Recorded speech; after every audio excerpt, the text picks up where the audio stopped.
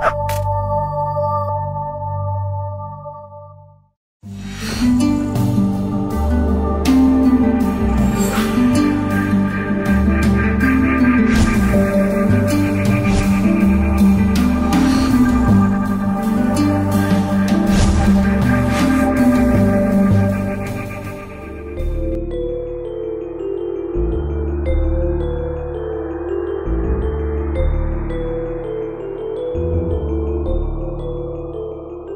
Еліміздің оңтүстік өңірлері қай дәуірде де руханиятымыздың бір көрсеткіші болды. Әсіресе жамбыл облысының иман ахуалымызға қосқан үлесі орасан. Көнедегі ақыртас аспара баласағұн құлан және тараз жай ғана бекіністер емес еді. Бұл шаһарлар білім ғылымның мәдениеттің орталықтары болды. Сондай ақ жамбыл облысының ең үлкен аудандарының бірінен саналатын қордай да ұзақ жылдардан бері дін исламның гүлденіп дамуына жағдай жасап келеді. Соның бір көрінісін мұндағы мешіттерден байқауға болады. Бүгінгі бағдарламамызда біз қордай аудандық бас мешітін таныстырамыз.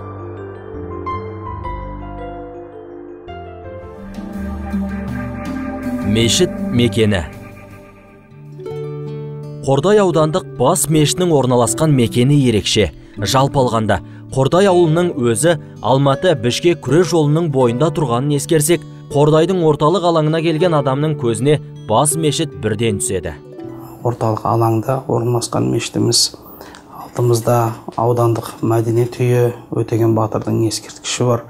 Сол қанатымызда аудандық мекемелер аудандық ішкі істер басқармасы аудандық және санитарный эпидемиологиялық қадағалау басқармасы орналасқан. Сол жағымызда ә, тур, жаңағы билік партиясы дейді ғой қазір нұр отан партиясының аудандық филиалы аудандық прокуратура сол қанатымызда орталық алаңменен аудандық әкімшілік орналасқан жалпы өзі алматы бішкек халықаралық дәлізінің бойында аллаға шүкір мына жағымыз алматы мына жағымыз көрші елдің астанасы бішкек қаласында ә, жібек жолы және төле би көшелерінің қиылысында орналасқан ә, былай айтқанда халықаралық дәліз соған байланысты аллаға шүкір және дәл орталықта тұрғанына байланысты күнделікті келетін жамағатымыз да жұмаға қатысатын жамағатымыз да күннен күнге өсіп едәуір сондай аллаға шүкір сондай қарқынмен дамып келе жатқан күніміз бар бүгін. Мешіт тарихы. Тәуелсіздік алған 1991 жылдары ауыл тұрғындары жергілікті әкімдікке жүгініп көне пошта ғимаратын мешіт етіп бөлуін өтінеді. Қордай ауданының ақсақалдары меркідегі діни медресенің басшылығына барып мешітке имам дайындап беруін сұраған. Медресе директоры мұхамеджан есімді бір шәкіртін қордай ауылына арнайы имам етіп жібертеді мұхамеджаннан жаңа уағыздарын естіп басымызды дінге бұра бастадық. Ол кезде өңкей ақсақалдар ғана оқитын. Шалдар бес алты шал. Кейіннен он шақты болдық. Жұма намазында он он бес адамнан артық келмейтін. Сонан жаңағы мұхамеджанның несімен осы жердегі ақсақалдардың жаңа айтқан сөздерімен көп көбейе бастадық. Көне мешітке келуші жамағаттың қарасы көбейіп кішкене ғана пошта ғимаратына сыймайтын халге жеткен кезде сол кездегі аудан әкімі құрманғали уәлиев қордайдың қақ ортасындағы орталық алаңнан ал үйіне деп жер телімін бөлгізіп береді. Күре жолдың дәл бойынан берілген жер теліміне еңселі мешіт тұрғызу ауыл тұрғындарына жүктелген тағы бір үлкен сынақ болатын. Құрылысын бастап иншалла бітіріп одан кейін киім кетігі болса артынан тағы да жасап сыртын үйлерді салып кейін мәдіресе жасады. Бұның өзіне бес алты жыл уақыт кетті бәріне алды артына дегенімен жақсы жұмыс жасалды жамаат алғашында намаз оқитын адамдар аз болса да кейін кейін көбейіп алхамдулилля қазір балалар жастар көбейіп келіп құран оқуды үйреніп жамаат намазға көп келіп жатыр жұма күндерде екі қабат сыймай кетеді қордай аудандық мешітінің толықтай біткеніне 12 жыл болған ауладағы имамдар бөлмесі дәретханасы және діни ілім беретін медресесін қосқанда ал үйінің құрылысына 5 жылдай уақыт кеткен. Нәтижесінде бас мешіт қордайдағы сәулетті ғимараттардың қатарына қосылды. Жамағаттың барлығы көмектесіп жатыр да бізге осы жерде. Ең бірінші мына жерде жолдасбаев мұратбай деген неге бар? Сматайұлы сол кісінің арқасында мынаның ішінде мына жаңадан ремонт істеген барлығы сол кісінің арқасы деп ойлаймын мұғалімдеріміз бар қазір жаңадан келіп жатқан жаңадан келіп бір қариымыз бар. Мына жерде асқар деген мұғаліміміз ұстаз қазір мына жерде жас балаларды оқытып үйретіп жүрген. Мына жерде үш курсы бар. Жастарға одан кейін орта жастарға одан кейін біз сықылды қарияларға да оқу нелері бар бәрі енді біз де кішкене енді арабтың несін әріптерін үйреніп үйреніп жүрміз енді қазір аллаға шүкір деп. Төрт бұғанасы бар. Төрт бұғанасы да сегіз бұрышты болып шариғатымыздағы осы ислам дінінде қабылданған. Жаңағы рәміздердің бір сегіз бұрышпен жасалынған. Ол жаңағы арнайы траверти деген таспен қапталған. Жаңағы жоғары жағына қарасаңыздар барлық неден бұғананың арасында сегіз бұрышты таңбамен ою өрнектер шығарған. Және де ішінде травертирмен қапталған алдыңғы саптары арнайы итальяндық жаңағы мрамормен жасалынған өте жаңа сәнді ерекше басқа бір мешіттерге көп жағдайда қарап отырсаңыз ұқсамайды. Және де сол адамдардың көзіне қонымды тартымды болған жасыл түспен жаңа боялған қарап отырсаңыздар.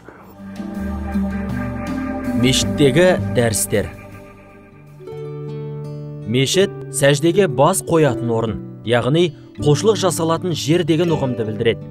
Ат айтып тұрғандай мешіттер негізінен бір аллаға құлшылық жасау үшін тұрғызылады.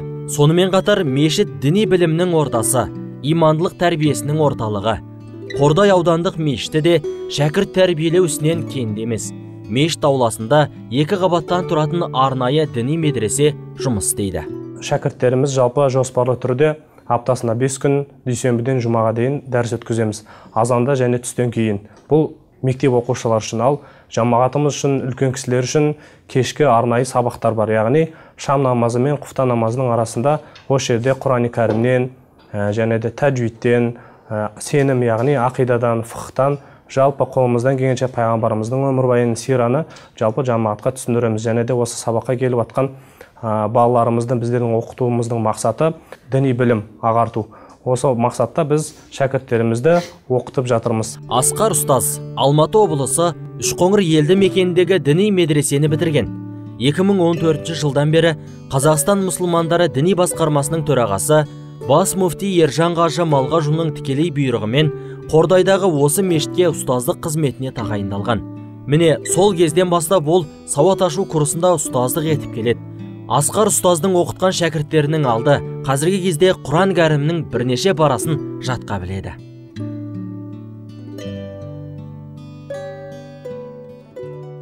Мен жасым 15-те осы медресенің ең үлкені мен боламын өзіміз екі екі уақытта келеміз. Ертемен оқимыз және түсте оқимыз.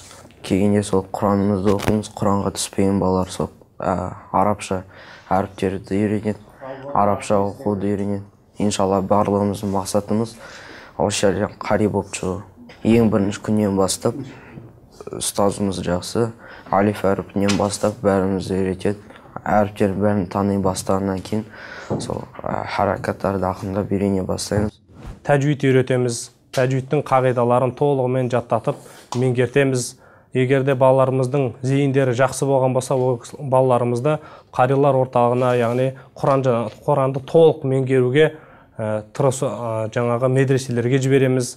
Ә, қазіргі таңда біздің қордайымыздан оқып жатқан шәкірттеріміз өте көп. Яғни нұрмарак университетінде және абу ханифа медресесінде үшқоңыр медресесінде мына сарыағаш медресе колледжінде оқып жатыр. Және де тараз өзіміздің хибатулла тарази медресесінде де оқып жатқан біздердің шәкірттеріміз баршылық. Ә, мешітіміздің бір мұнарасы бар.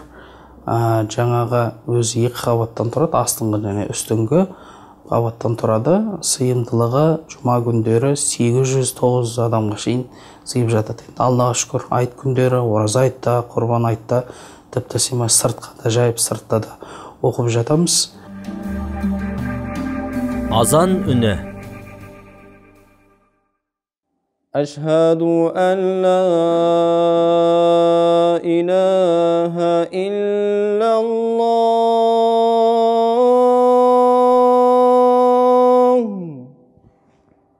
أشهد أن لا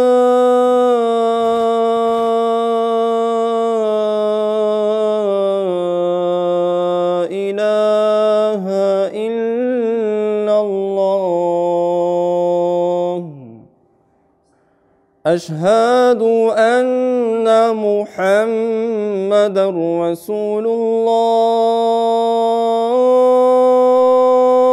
الله أشهد أن محمد رسول الله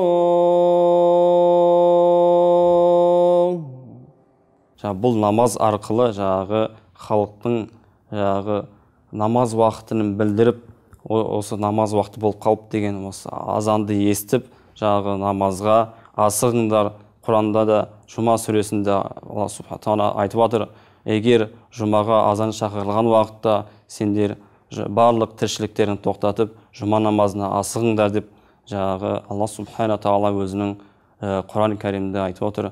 Міне сондықтан да бұл жаңағы азаншылық ә, жаңағы халықтың жаңағы намазға деген ә, хабаршысы болып табылады.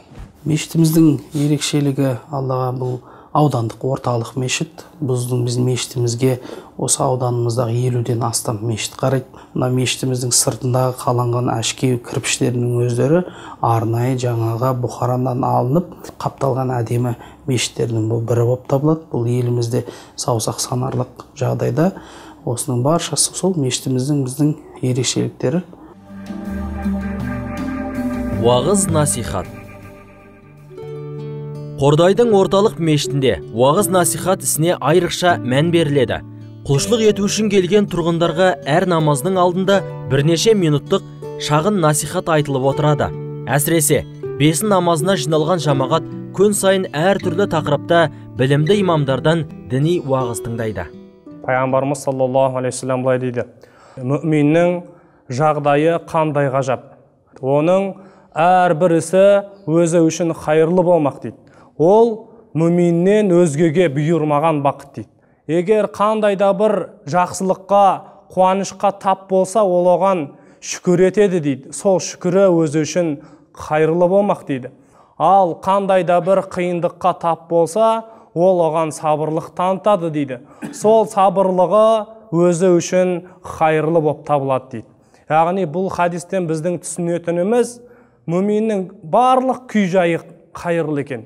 Және де пайғамбарымыз айтқандай бұл мүминнен өзгеге бұйырмаған бақыт екен. Жамағатымыз аллаға шүкір халқымыз еліміз сияқты көп ұлтты ең көп шоғырланатыны сол бесін намазында бесін намазында жамағатымызбен жүздесіп кейін бір күнде бір хадис деген үрдісіміз бар. Сол бесіннен кейін ә, имамдарымыз ол жақта ә, пайғамбарымыз саллаллаху алейхи вассалам хадистерін түсіндіріп оны жаңағы өзіміздің салт дәстүрдегі аталы сөздерімізбен ә, әсемдеп соны халыққа аллаға шүкір жеткізіп жатамыз.